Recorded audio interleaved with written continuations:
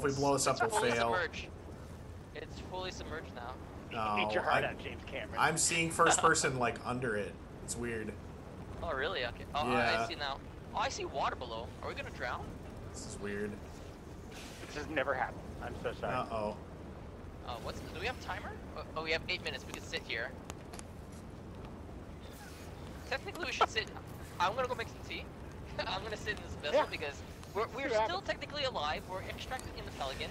So when the timer goes up, it should take off. So Yeah, I'll see you guys in a eight fail? minutes. you guys enjoy the party upstairs. I I get us- guess yeah. I got nothing else to do. jump on top of it. I wonder if I should try shooting. Like I'll probably blow myself up, but I'll probably. Extraction Oh complete. oh it, it landed. I'm more confused now than I was at the beginning. it finally landed.